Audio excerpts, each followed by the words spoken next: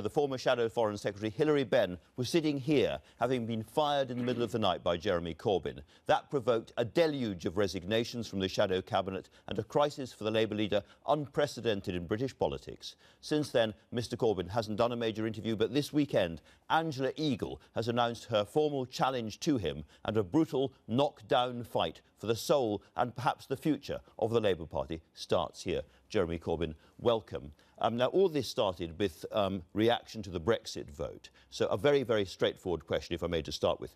Which way did you vote in that referendum yourself? Remain. I'm surprised you even asked the question. Well, I, I, asked it because quite a lot of people around you suggested that you had never been a supporter. Nobody ever suggested I was going to do anything other than vote Remain, and I think you're very well aware of that.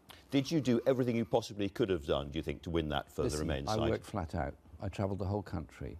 I addressed union conferences, street meetings, public meetings, mm. universities, colleges, lots of places, urging people to vote Remain because of the general direction this country would go if we voted to leave. I'm not uncritical of the European Union, as everybody knows, and indeed the most of the population are not uncritical of the European Union. And I've been reaching out. Yesterday, I came back from Paris, where I'd been, uh, Friday rather, where I'd been meeting the Party of European Socialists to work together with socialist parties, in some cases governments across Europe, on how we deal with this and what access we have to the single market in the future and protect the social conditions that we have got through the social chapter in the treaty. Angela Eagle has now announced that she is going to stand against you. Have you any message for her this weekend? Well, I'm disappointed, but obviously she's free to do that if she wishes to. We have worked together in the past six months, or nine months actually, in the Shadow Cabinet, and this is an opportunity when we could be putting enormous pressure on this Tory government, on inequality and injustice, in pov on poverty, and all the issues this Tory government is Would you like her at the 11th hour to think again in that case? Well, she resigned from the shadow cabinet. Uh, we had a conversation after she had announced her resignation from the shadow cabinet, and uh, I would ask her to think for a moment. This is the opportunity of the party to unite against what the Tories are doing, to put forward an agenda which is different to the austerity agenda being put forward by the Tories, and actually gain a lot of ground. We now have a very large membership. Over half a million people are members of our party. Yeah. They've joined for a reason, they want to see a party that is active all the time, opposing what this government's doing. If she does stand, are you confident you can get the 51 nominations you need to be on the ballot for the next leadership? I'm expecting to be on the ballot paper because the rules of the party indicate that the existing leader, if challenged, should be on the ballot paper anyway. But the uh, legal advice that's been taken by the party says that you do need those nominations, as Neil Kinnock had to get them when he was challenged. That was, uh, Neil should remind himself, that was in 1988 when the election of leader was done by an electoral college system. That has long since been abolished. We now have a one member, one vote system. The rules, in my view, are absolutely clear, and indeed, I'm not sure what this legal advice is referring to. I have not been shown any legal advice to that effect. Have you taken legal advice of your own? I've taken much um, soundings from lawyers. There's a lot of lawyers about, you know. There are a lot of lawyers. And what do the lawyers tell you? That you, you will stand, you'll be on the ballot yes. come what may? Yes, indeed, sir. Um, some people say, why should you be treated differently? I mean, Neil Kinnock had to get th those numbers of people. In the past, Labour leaders have had to show that they have the support of a sizable number, actually just a fifth of the MPs and the MEPs. Why should you be different? That was in 1988. The electoral college system has since been abolished. We now have a one member, one vote system, mm. and uh, members of parliament have a role in that, of course they do. But at the end of the day, the final say is by the members, affiliates, and supporters of the party. But if you had to, do you think you could get those 50, 51 nominations? You'd be surprised how much support there is out there of people that feel that uh, I was elected a year ago mm. with a very large majority and a very large mandate, and since then we've defeated the government on more than right. 20 occasions in Parliament. We've won elections. I think we're a party that's going places and doing very well, actually. This is uh, something that's going to end up with the National Executive Committee of the Labour Party, the NEC, this week. If the NEC decides that you should not be on the ballot paper without getting those nominations, will you take that to court? I will challenge that if that is the view they take. But I would also in just. Court. Oh, wait a minute, can I finish? Yeah. I would just ask anyone in the party to think for a moment is it really right that the members of the party should be denied a decision, a discussion, a choice in this? Half a million people are members of the party because they want the party to succeed. Surely they are the people that knock on doors. They're the people that deliver leaflets. They're the people that raise the money. But as Neil Kinnock has said, in the end, the Labour Party is a parliamentary party. Its founding constitution is to create and sustain a party in Parliament. And if you have not got the support of 80% of your own MPs, it's very hard to see how you can be an effective leader in opposition or perhaps one day in government. Well, Neil says that, and I heard him say that, and indeed I've heard him say it on, on a number of occasions. The reality is the party is a coalition of affiliated unions, social societies, individual members, registered supporters, and members of parliament. They have to come together. I have reached out in a way that no other leader ever has in the breadth of the political views of people I brought round the shadow cabinet table. I'm not the one who's been trying to box Sure. myself into a corner. But- I've reached out in, in the most, in the broadest way I could. Let's go back to how this all started. It was that very dramatic night when um, Hilary Benn was fired by you in the middle of the night. What's happened and why did you fire him? Well, Hilary confirmed to me in a phone call that he had indeed been collecting signatures for some days of um, wanting to have a mass resignation from the shadow cabinet because he didn't agree with my leadership. I didn't think that was a particularly collegiate thing to do, particularly as we were actually involved in the EU referendum campaign at that time. I was the one who was travelling the country getting support for a Remain vote, and uh, he confirmed he'd been doing that, and we then discussed it, and he generously, as I generously said to him, said, "Well, look, this really can't go on," and so we parted company. Well, you're two courteous people and you've Oh, no we're very courteous. Parted, parted we both come courte- from very courteous You, families. you parted company courteously, but after that, 63 members of your team resigned, leaving you with a very kind of threadbare shadow cabinet, if I may say so. There are lots of important jobs you can't even fill, and people doing more than one job. This is not really an effective opposition in the traditional way, is it? I'm saying to Labour MPs, you have a responsibility to represent the party in Parliament. We're only any of us in Parliament because of the work of Labour Party members and supporters and, of course, Labour voters. And uh, I urge them to recognise that. But also, I'm keen to reach out. We're going to come together discussing how we deal with the possible UK um, negotiations over the next few months over the European Union. There's an awful lot of policy areas where there's a great deal of agreement, but I think the crucial one is the achievement of John McDonnell in turning economic policy around so that pretty well everybody seems to be now signed up to the idea you invest rather than cut in order to grow our economy. But you haven't got a proper shadow Europe minister at the moment. You've got one, the same person is doing the shadow Welsh job and the Northern, sorry, the Northern Irish job and the Scottish job, and he's English. I mean, this is going to be very, very hard for the Labour Party to do the serious line by line criticism and opposition and holding the government to account that it ought to be doing. That's why I say to Labour MPs, get round the table, get together so that we can do the line by line criticism mm. of what this government is doing. And I have to say this that there are very many talented people in the Parliamentary Labour Party, and I'm very disappointed that some of them have declined to take on Yes. positions that have been offered. I asked them to think again about this because our duty is to stand up for the very poorest and most vulnerable people in the society and convince the mm. majority that a better society is one that's inclusive to all. The hard truth is that they have lost faith in you personally. And it's not just the Blairites, it's not just the right, it's people like Lisa Nandy, Ed Miliband, who was a great, great supporter all the way through, eventually said, it's not working, it's over. And Well- the- the- these are people who are supposed to be on your side. They have said that MPs control everything in the end of the day and decide what we do or not. I just asked them to think for a moment about the very large number of members of this party and people who've joined our party in order to try and create a better society in Britain. Don't they have a right to have a say in all of this? Don't they have a voice that should be heard in all of this? And I reach out and I'm quite mm. prepared to work with people. I was given Sure. a huge responsibility and a mandate a year ago and I'm carrying it out. But those MPs have the votes of 9 million British people behind them as well. Um, I mean, here is Louise Haigh, who voted for you in the leadership campaign. She said, I completely respect the mandate Jeremy has from the membership, as you've been talking about, but in order to lead Labour in Westminster, he has to have a parliamentary mandate too, and you don't. Um, or Lisa Nandy. The lack of confidence in the leadership goes beyond the small group of MPs who have consistently opposed Jeremy since his election. It has become clear that he is unable to form a broad, inclusive shadow cabinet that draws on the best of our movement's traditions. Then why doesn't Lisa come back into the shadow cabinet? Why did she feel she, it necessary? She doesn't have faith in you. A week ago, she was happily in the shadow cabinet. Two hours later, she decided she wasn't. I've noticed the enormous pressure that's been put and MPs have told me about this by a group saying you've got to get out of that, you've got to leave Corbyn alone, you've got to get away from him. Sorry, we have a Labour Party. Labour MPs have, I think, a responsibility to represent our party. And I urge them to think again about what they're doing at the present time. Surely, the Tory party is in disarray.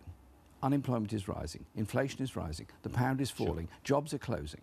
This is not the time going, for the oh, Labour no, Party to be in disarray. Absolutely. This is the time when we should be out there doing that campaigning on an economic strategy, but very ably put forward by John McDonnell, which does prevent, present a real opportunity mm. and a real alternative for the people of this country. But people like Lisa Nandy are grown-ups and now quite experienced politicians. They have taken their decision for their own reasons. And the, it remains the problem that you do not have a majority of Labour MPs, nothing like it in the Commons behind you. So one of two things can happen. Either you could decide suddenly to stand aside and end that particular problem that way, or eventually you have to get rid of those MPs who oppose you. You have to have mandatory reselections and get them all out. Get 80% um, of Labour MPs out. It's a democratic party, not a dictatorship. I was elected by a very large majority of members and supporters. I did not have a majority of MPs supporting me at the very beginning. I haven't enjoyed that position uh, during the past nine months of leadership. I have reached out to all sections of the parliamentary party and I would respectfully suggest that a little bit of movement to help us develop policies and campaign against this government ought to be our priority at the moment. So what's the movement coming from you? I mean, there have been talks and negotiations and so forth. What have you been offering the bring, rebels? Bring people together and decide how we deal with the very complex matter of the results of the referendum vote, the effects on industry and investment mm. and trade in this country, and the effects on uh, environmental, human rights, and social policies in Britain. It, it, huge effects. But when they say this is really about Jeremy Corbyn, we don't have faith in Jeremy Corbyn and the way he is running the Labour Party and his office and its competence, that kind of answer isn't going to satisfy them, is it? Come and talk about it. I've reached out to Labour MPs in a way that very few other leaders have. I meet them frequently, one-to-one conversations with many colleagues. You've talked to them, but you haven't actually done anything about it. I mean, you haven't put how a... Do you, how do you know what I've done or not done about well, it? Well, I'm asking you. I mean, if you can tell me that you have done something specific to meet their concerns, to either change your operation or say, I'm going to time limit my leadership, or if it's not working by a certain time, I'm going to stand aside. I mean, those kind of things. Why should I time limit a leadership when I've been elected by a very large number of members and mm. supporters in order to lead this party. Um, if, the end of the day, an election somewhere mm. results in a different leader, so be it. But I would be irresponsible if I walked away from a mandate that I was given and a responsibility I was given. I ask colleagues to respect that as well. You have been under enormous personal pressure. You must have talked about this with your family, and there was talk that there was a period when you did have a bit of a wobble. You thought, is it really worth it? Can I carry on personally doing Andrew, this? you read too many newspapers. You really do. It's all I do. It's all you do, read newspapers. Well, can yeah, I tell you something? There's no wobble. Asking, is it true? There's, no, absolutely untrue. Mm. There's mm. no wobbles. There's no stress. There's no depression. I'll tell you what real stress is.